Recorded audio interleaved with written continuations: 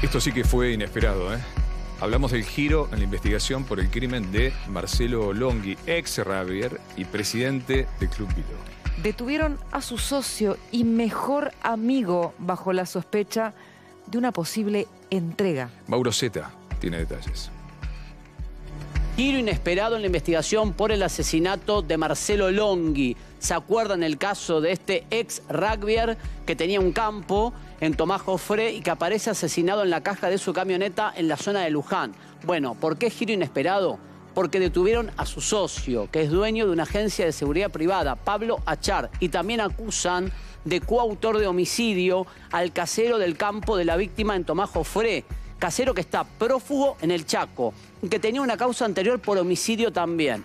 ¿Cómo cambia la investigación de la fiscal Mariana Suárez? Básicamente por la data de muerte. La data de muerte, el estudio forense que hacen para saber a qué hora mataron a Marcelo Longhi descarta lo que declararon quienes eran primero testigos y ahora acusados, el socio y el casero. Ellos dijeron que Marcelo se fue del campo de Tomás Jofré con 180 mil pesos para comprar terneros en la zona de Luján. Pero la data de muerte ubica que lo mataron en Tomás Jofré, que nunca salió con vida del campo, con lo cual lo mataron, lo trasladaron y plantaron el cuerpo. ¿De qué acusan o cuál es la prueba o cuál es el móvil que le endilgan a los dos acusados, al socio y al casero que está prófugo? Esa es la gran duda de esta historia.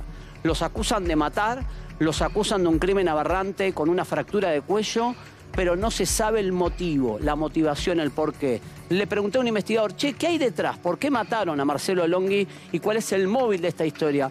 Algo vio, algo seguramente le reprochó al socio y terminó asesinado. Hay que esperar las pruebas, está detenido el socio, buscan al casero, cambió radicalmente la causa.